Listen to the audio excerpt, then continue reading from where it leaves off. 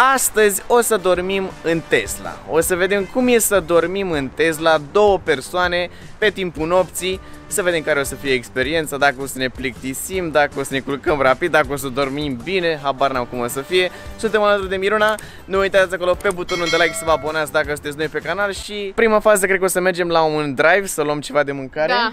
Da! Și după aceea o să trebuiască să ne găsim un loc unde să dormim. Încă nu știu unde o să facem treaba asta. Să vedem ce noroc avem în seara asta. Dacă o să fie bine, dacă o să fie rău. Eu zic că nu o să fie chiar așa de rău, poate. Oh, eu zic că o să fie bine, dar nu o să fie confortabil. Avem aici mașina.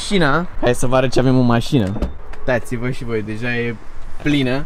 Vlogul ăsta chiar o să fie amuzant pentru cei care vă uitați, așa că hai să vedem ce se întâmplă în seara asta. S-a decis ca prima oprire până la urmă să fie la încărcat, ca să nu trebuiască să încărcăm următoarea zi, pentru că noi o să folosim clima toată noaptea, ca să avem aer în mașină, să nu ne sufocăm. Mașina are un mod de tabără, unde ne ține temperatura constantă pe toată perioada nopții. Dar nu știu cât o să consume, așa că cel mai bine decât să încărcăm dimineața când suntem morți de oboseală, mai bine o încărcăm acum.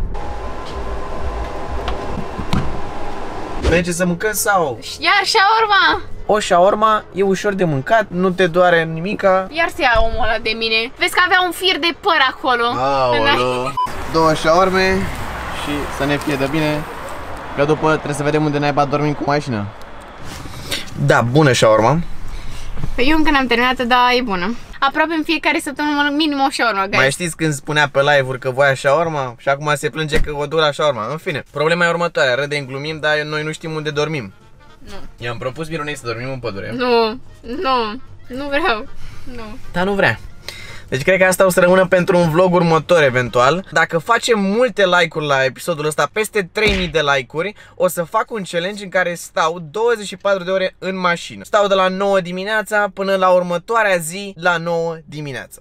Miruna a zis că vrea la Băneasa, o să stăm în Băneasa. Uitați aici pe hartă, arată pe hartă. Cam atât de mare este parcarea de la Băneasa, adică este imensă. Și o să stăm cu mașina în parcare aici. Uite că s-au oprit și luminile, deci e ok. E ora târzie, în care nici măcar luminile nu mai sunt aprinse. Cam așa arată parcarea asta, destul de creepy aș putea Știi că sunt spune. niște oameni în față, nu?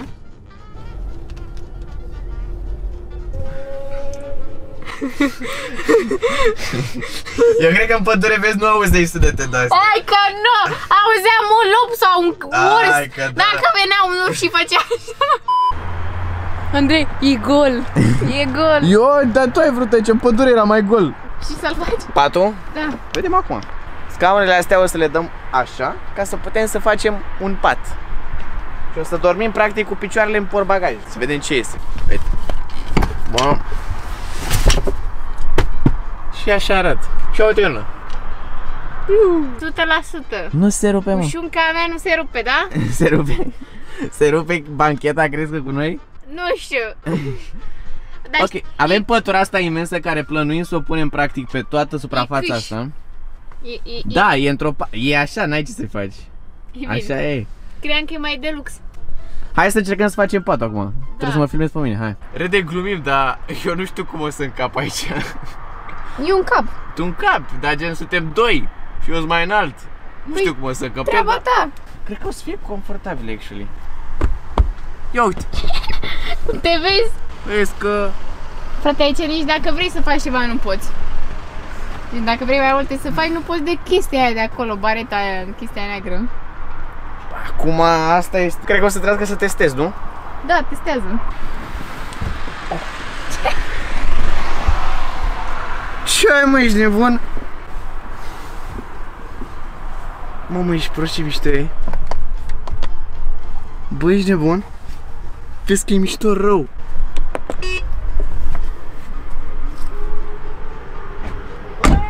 Vezi că e mai comod decât credeam, adică chiar e bine. Am dormit în patru mai nașpa de atâta. Hai că vedem acum și reacția Mirunei. Păi ce mai plătesc mă eu ca zăr când mă duc la... Păi ești nebun? Miroase ca la mamaie aici.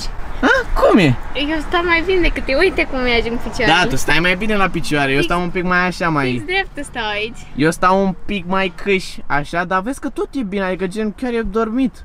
Hai, Iona, hai încălțăminte aici, bam, Și o pune acolo. gata. E bine. Bă, deci chiar e super mișto. Îmi place ce văd și mie mașină, dar o să zic la final cum o să mi se pară. La final e întrebarea. Ah! Două persoane cum au luat Mirna. Asta dacă avem loc amândoi. Bă, da, like, e foarte mult spațiu aici. Da. Mamă, ce mișto e. Și gata, ia uite. Deci cam asta este Ce situația. mare ești, mâncați ești gura ta. Uitați-vă cât spațiu are Miruna. La mine trebuie să stau un pic mai așa, da, e bine, ești nebun. Aia în caz că te închide cineva și ești răpit. Nu cred. Da, trebuie să ai așa ceva. În caz că ești răpit, trebuie să ai o chestie de asta ca să se deschide de pe interior. What the fuck? La final, oricum revenim cu feedback. Acum, prima impresie mi se pare chiar ok. Miruna, la tine cum e? Foarte bine. Deci chiar e bine. Uh, Sunt curioasă dacă mă doare mâine spatele sau nu. A, uite că am și lumină. Ia uite. Avem lumina asta în spate aici. Bă, deci overall chiar e bine. Ia ce bine se vede Mirna. Yay! Bă, bune. Deci overall până acum e bine. Trebuie să punem mașina pe modul tabără.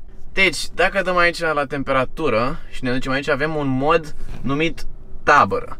Dacă dăm pe modul ăsta tabără, vedem că mașina va rămâne pornită până când bateria scade la 20%. Modul sentry, alarma de securitate și încuietoarea prin distanță vor fi dezactivate. Deci cam asta e situația, o să stăm pe modul ăsta tabără. Știi ce am realizat Miron acum? Mm.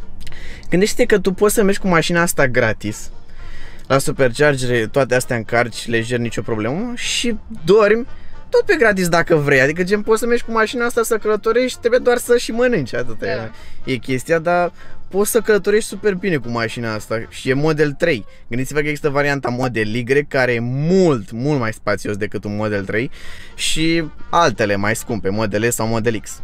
A apărut focul de tabără direct pe ecran, tare rău de tot cât de mișto se vede atmosfera, bă, deci e super mișto. Experiența asta m-a făcut să-mi placă acum și mai mult mașina. Spiruna i-a zis că e cald, da? Da. Și eu am zis că mi-e cald la picioare. Și fiți antene ce idee mi-a venit. Din telefon, deschidem portbagaj.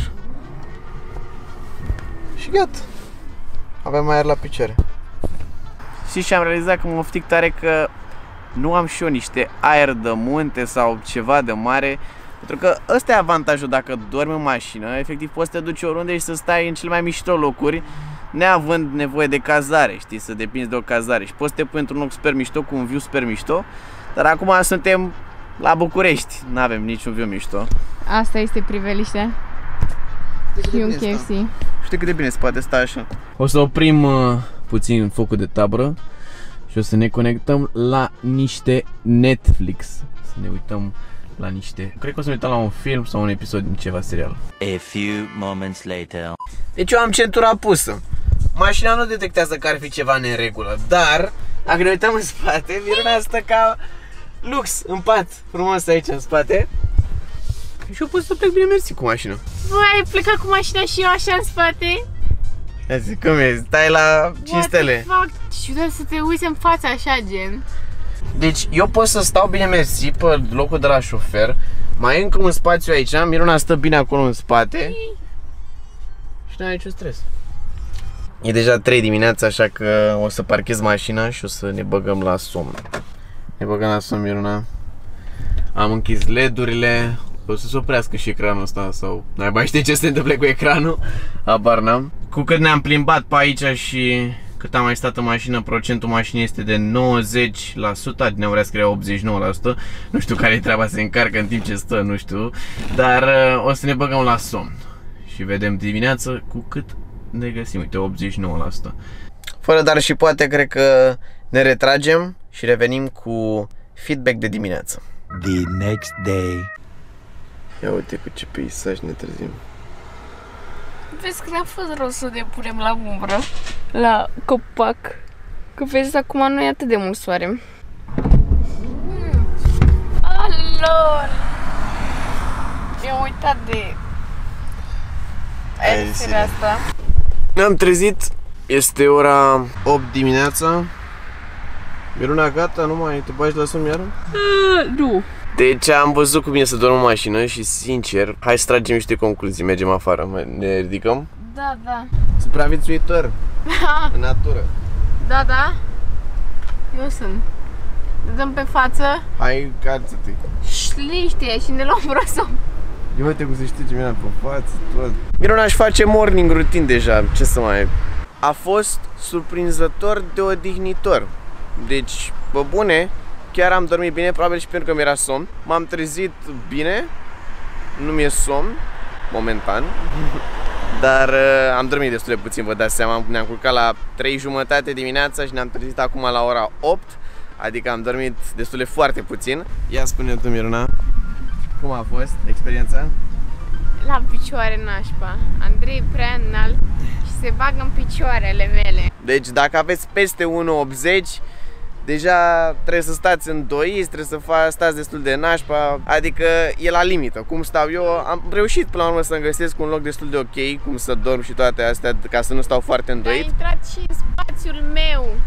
Deci concluzia, dacă aveți peste 1,80 nu prea e indicat să dormiți în spatele la Tesla Model 3 pentru că nu prea o să aveți loc. Dar dacă aveți 1,60 e perfect. Aș mai repeta experiența, dar aș face-o într-un loc mai frumos. Pentru că dacă tot sunteți cu mașina și poți să parchezi oriunde, aș merge în principal cu mașina undeva unde să am o priveliște sau aer așa de munte sau aer de mare, undeva pe plajă, nu știu, undeva care chiar să profit de faptul că sunt cu mașina și dorm în mașină, știi? Am plecat de acolo și am uitat să vă spun o chestie foarte importantă. Avem 79%. Practic pe timp de noapte am pierdut 10% pentru că era undeva la 90-89% bateria și am pierdut 10%. Deci cam atâta pierzi peste noapte dacă ții aerul condiționat pornit la temperatura de 21 de grade. Deci am dormit pe 21 de grade cu aer condiționat mergând. Cam atât a fost cu acest vlog. Dacă v-a plăcut, nu uitați dați acolo pe butonul de like să vă abonați dacă sunteți noi pe canal. Dacă mai aveți alte întrebări legate de mașină, nu uitați să le lăsați în secțiunea de comentarii și o să încerc să vă răspund.